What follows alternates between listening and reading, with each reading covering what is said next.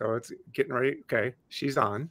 So this uh Kate Nash, you are the um you're bringing in all kinds of new stuff joining our board because we've never done one of these before. I so, love it. So here we are, five questions with Kate, our newest member of the Promo Cares board. And poor Kate, I didn't even bother to tell her what the questions are going to be. So this is going to be off the cuff. We're going to see how well she dances, ladies and gentlemen. So welcome to the board, Kate Nash. Thank We're you so much. I'm very happy to be here. So crazy to think that in the short amount of time that you've been affiliated with our little group of promo mofos, we've actually already had two board meetings.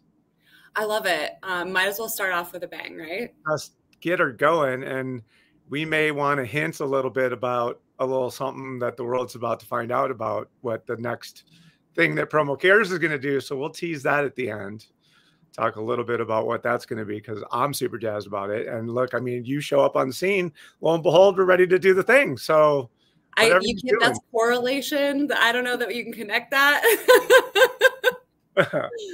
so, Kate, why don't we let let you tell the people what you do, where you do it, why you why you're doing it for that person, and uh, we'll get people introduced to you.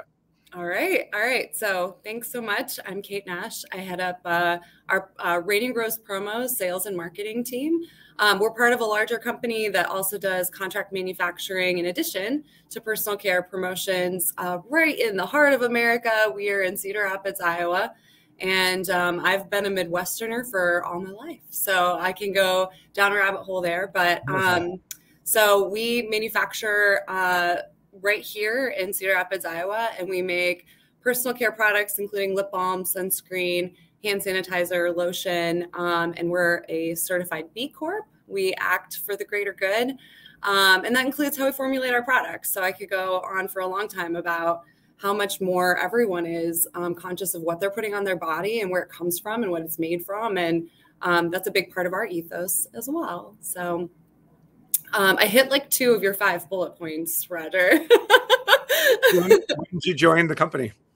Ah, thank you. Um, uh, like a century ago, but really it was just 2019. So like before COVID. Um, and I started as our chief marketing person, working over uh, both divisions of our company, and then had an opportunity to take over this team um, just last August. And I'm so pleased with it. I love this industry.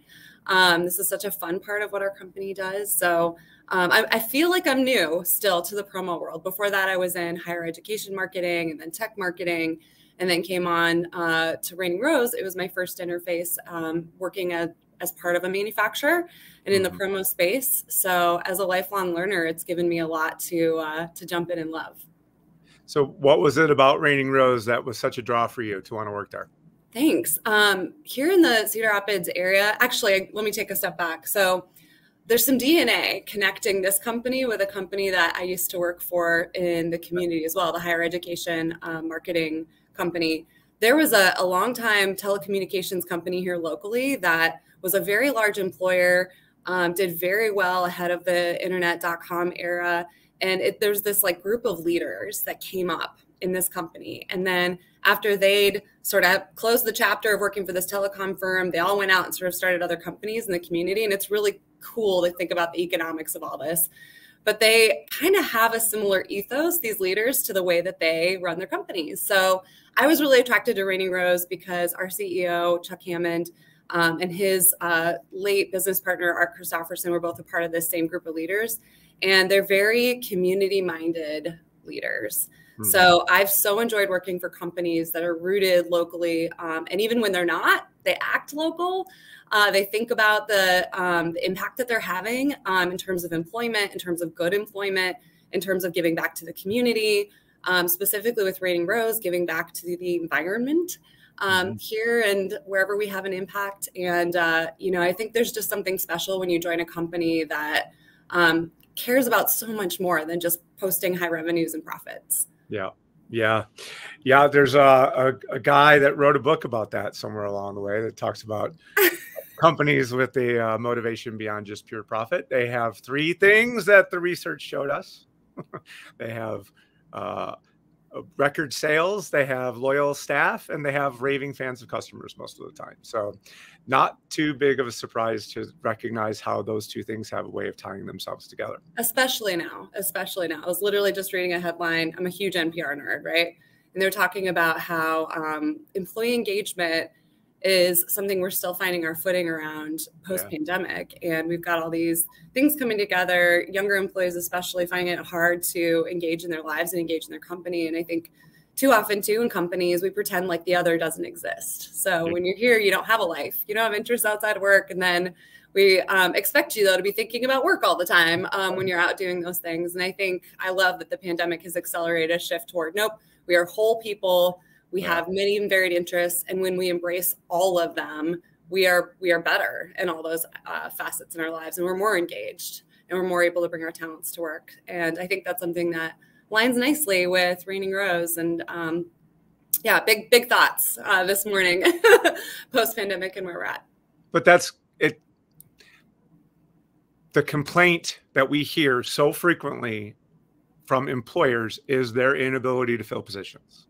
Yes. And when you have clear values organizationally, what you're doing is you're giving your prospective employee the opportunity to really know what it means to work with and for that organization. And to me, I think that in and of itself oftentimes is the differentiator between companies who have spots open and companies who are full. Yeah, I 100% agree. And, you know, as I tie that back to Raining Rose promos and where we are, we're kind of a niche supplier. We, we have, you know, really focused product lines. We're not a broad supplier. Um, and, you know, there's a lot of purpose and intention behind that. Um, and we've struggled over the years with like, oh my gosh, should we start importing more? Should we bring in more products that fit with our core line? And ultimately, we just keep coming back to, you know what? Um, you know, we're evangelists over what we do and how we do it. And if we all of a sudden start expanding into five or six areas, um, how can our employees still show up as excited and knowledgeable as they are? Um, and you know that's something that again we're not going to ever stop struggling. We have a brand promise, we want to fulfill it. Uh, but at the end of the day, I tie that all the way back to how we focused our strategy around what we're going to offer. If if our sales team, if our marketing team, if our customer service folks can't describe to you with a lot of energy and enthusiasm and knowledge why Raining Rose and to educate about our products, um, they're just going to feel like they're failing all day, right? Like nobody likes to be in a seat with a customer where they can't answer a question, where despite their best intention, it feels like they might be hiding something. They're not. it's just um, there's a lot of knowledge in this industry. There's a lot to know. Um, so I think there's a lot of uh, a 360 degree lens around what you just said, and, and we tie it all the way back to our strategy and what we offer. Yeah, it, it's for those of us who uh, do business with Raining Rose, it shows straight through. It's completely obvious that that comes from the inner workings of the organization and it's present in the way you communicate, in the way that you share information, like, you know, all of those things. So here we are. You are four years in, you are running a pretty sizable uh, responsibility over there. And tell the people how you found promo cares like how did how did you make your way over to what we're doing um you know that's such a great question and you know i feel like it's one of those things where i, I can't quite recall how i first heard about so you know when you're um, as a person with certain fa- like passions and interests or company with certain passions and interests you kind of gravitate or seek out or find or who knows right? You start telling people what you're about and then they start telling you other groups that are about that thing and that you should get involved. So i think i'll have to give the credit to my predecessors in this seat lindsay davis who's now at ppai nate robson who's actually our sales vp um, here at raining rose. Both um, you know were paying close attention and contributing where they could to the promo cares mission just because it aligns so much with again like this concept of doing business for more than profit. Mm-hmm. um, how can you make a positive impact? How can you leave things better than how you found them and um, promo cares is such an amazing group in that respect because one it's all volunteer driven. Um, so people really want to be a part of it just for that intrinsic motivation. And two the impact that you're able to have. You you all are moved to act. And i love that i found that um, moving closer and being a part of this team as a member of the board, um, you take these really big challenges that are paralyzing to a lot of us and you find one way to just do something. And I think that that is so inspiring. And, um, you know, certainly a big reason why I wanted to be closer to it. Um, how do we together tackle these big problems? What can I learn that I can bring back into my own business? And that's sort of like the multiplier effect, right? We're all coming in, you know, working on these problems together as a board, but then we take that inspiration and we take that knowledge. Like, how did Meg move forward on this thing and, you know, just pull together content, pull together steps? How does the, you know, the different members of the groups go back and um, do that for our own causes? But then we move to do that in our businesses as well. I love I it. I over answered your question. No, so it's so, and I'll I'll just echo a little bit of what you said there around when we are in board meetings together as a group, the firepower that is in that room is extraordinary. And yes, intelligence, yes, caring, yes, passion and movement to action. But I think many of us are pushed by the other people in the group to want to continue to evolve and grow as individuals and the amplification effect that's occurred as a result of that shared desire I mean, we don't exist. We're not a tax entity. We are just a logo and a website and some people who care. And yet, take a look at the PPAI show floor last month and the evidence of our influence to me was enormous. And whether that was intentional or by accident, I don't really care. because we saw an opportunity as a group to elevate the perception of what our industry is about. And what an amazing choice to try to take on to say, like, look, this whole idea of we're this industry that goes straight to the garbage has got to stop. And by focusing our effort on doing that, I think we're having a pretty sizable outsized effect in what's happening, whether, like I said, we caused it or it was a byproduct, like it it's here. And to me, that's the most amazing piece of it. Yeah, I was um, literally driving around thinking of this this weekend. And as you take on um, challenges like sustainability, environmental focus, inclusivity, you know, you look at some of these big things that we're not the only industry striving to evolve into the future in this or in, in these ways. We're not um, I think a lot of humans look at those issues and, and if we see a level of inaction it's just because a lot of us struggle with the enormity of any of them mm. like we see so much change we see so much possibility and we struggle to know where to start so then yep. we just don't and that's a really human instinct right so i think surrounding yourself with um, people who seek action they seek influence they seek anchor they seek incremental progress is so powerful and positive. positive and you know, I think that's a big reason why, you know, I myself wanted to be a part of this board and I wanted to represent my own company because, you know, we really believe that, you know, any step forward is still a good step. You know, I think I hear this a lot in athletics, but like progress, not perfection. We're going to mm-hmm. move forward um, and, you know, again, engage and energize people along with us to, you know, inspire them to, again, multiply the impact that we can have but I just think that that's so special. I mean, especially given the challenges that we're all facing and, as you know, accelerated by the pandemic. I think this is a really cool and special time to be a part of that, this industry because of that. I, yeah. And boy, let's see where this ride takes us because here we are starting another year and the energy that I, as a distributor, am seeing from my marketplace locally is white hot. It's it's really interesting. You know, we have all of these competing ideas about what's going on within our economy, and it doesn't appear to be manifesting its way into people not wanting to buy promotional marketing items. Oh my gosh. Um, I still have to say like knock on wood because you know, um, but same, um, you know, that our expectations for Expo, our expectations for this month, um, we far outperformed them, which is amazing.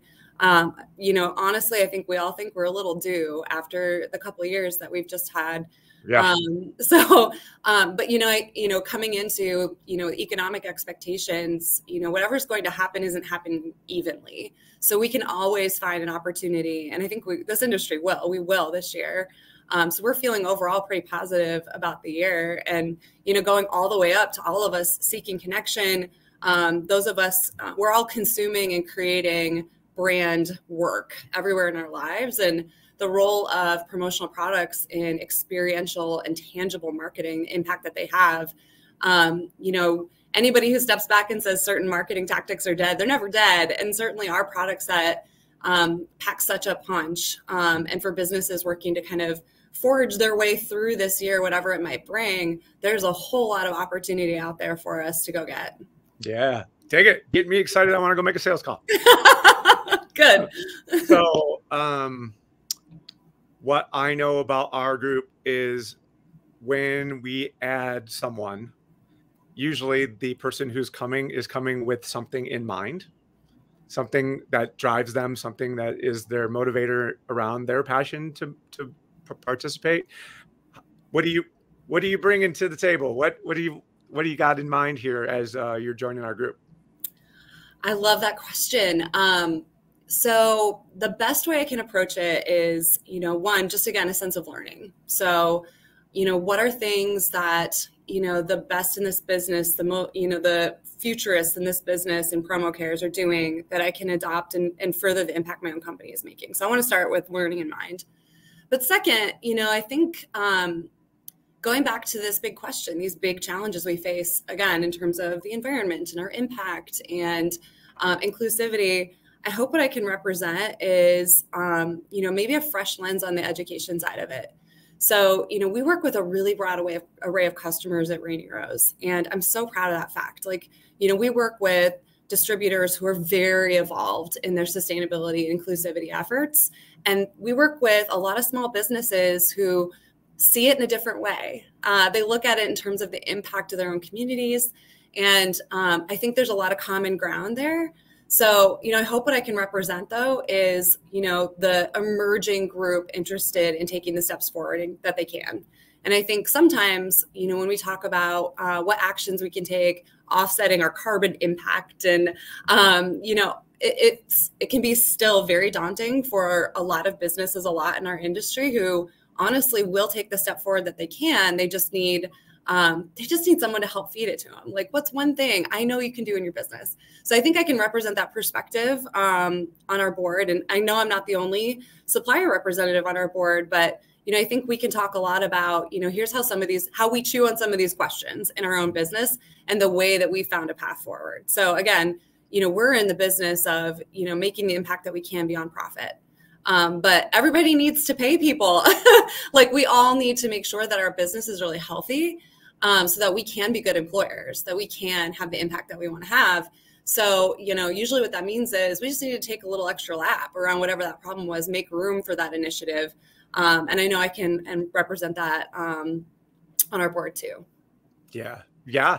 Uh, well, and what's been really fun to watch as the board has evolved over time has been the the energy and the passion and this desire to act has catapulted our efforts as fundraisers in really noteworthy kinds of ways that not only have we demonstrated as a group that we're capable of ra- raising a decent amount of money but we're also by virtue of our connections have this incredible amplification effect on the effort because now people are starting to actually approach us about could you do this? Could you do that? The reason we were able to raise $66000 for the humanitarian crisis in ukraine in two weeks time last year was largely driven by the fact that people have seen us now as honest brokers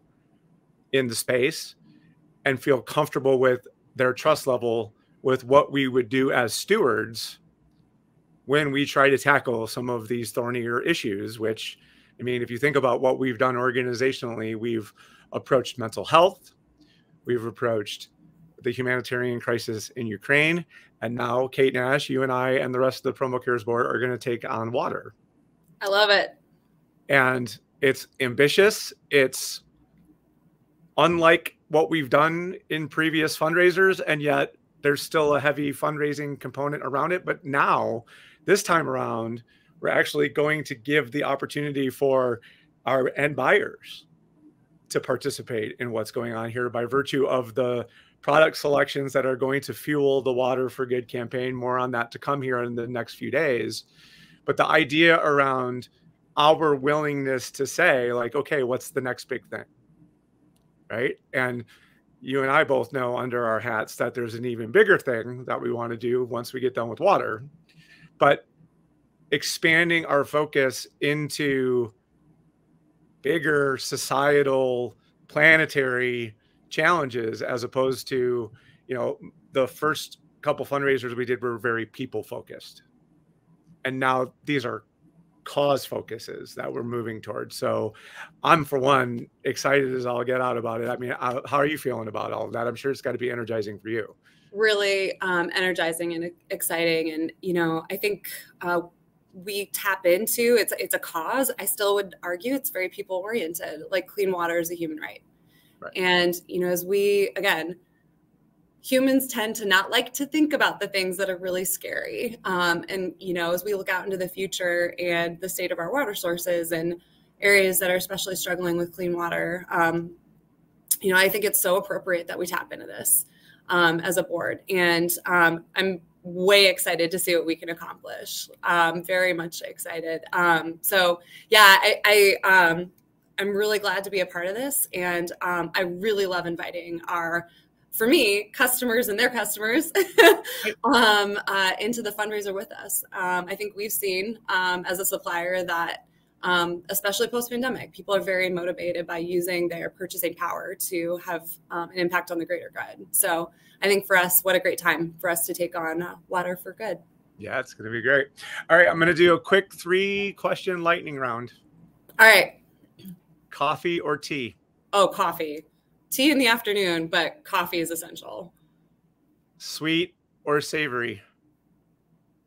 I'm a foodie. I have to say both. in the Fair. same meal, same dish. right, right. Uh, that umami thing, right? Yeah. Oh, yeah if you hit hit hit all the notes, then you're going to get all my money. That's for sure. And uh, would you rather ride a motorcycle or go skydiving? Oh my gosh. Um, 20 year old me would have said motorcycle. Um, year old me would say probably skydiving because I don't know. I I don't know skydiving because well still like I, I could maybe do the tandem thing where I still get like the rush of adrenaline, um, but without like the as much of the fear of dying. right. Right. Uh, Carrie Cowden likes to ask this question of all of her podcast guests. You are through TSA at the airport. You have time before it's time to get on the plane. What do you do?